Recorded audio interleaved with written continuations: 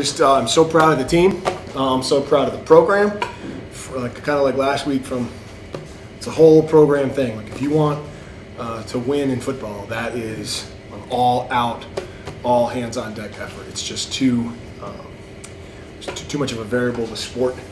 Uh, you can never just oh it's this, it's this, it's this. You need everybody, administration, alumni, team, everybody buying in uh, together. And you know, today uh, I can't say enough about the play of the kids. I mean, they just.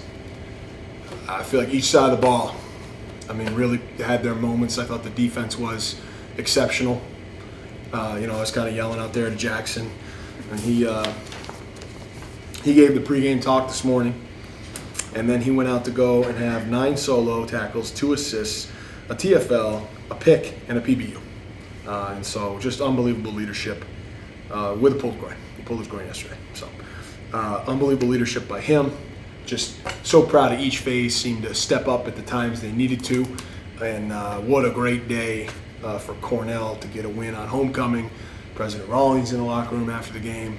Uh, beautiful day, right? I mean, we've been here when it's been the deluge of rain, right? So, just uh, just a, a day to celebrate. Uh, a day to celebrate our football program, our football team. These kids, these kids are unbelievably resilient. Uh, they just really, really, really are a special, special group of kids. So, and today was a was a great win over a good team.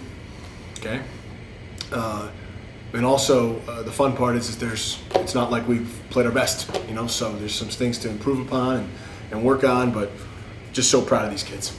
You know, having a first half performance like that was key though, because you jumped on them early. You know what I mean? And, and you're up three scores at halftime, and just you can see the growth and maturity of the team. We're up three scores at halftime last year, right? And, and uh, this time we, we sealed the win. So. Well, I mean, we had a great a great game plan that we had been working on all week long. We were confident that it was going to work, and came out the gates firing. And sure enough, I came out really quick on them, put up some points, and happy as be, happy as can be, and just try to keep it rolling.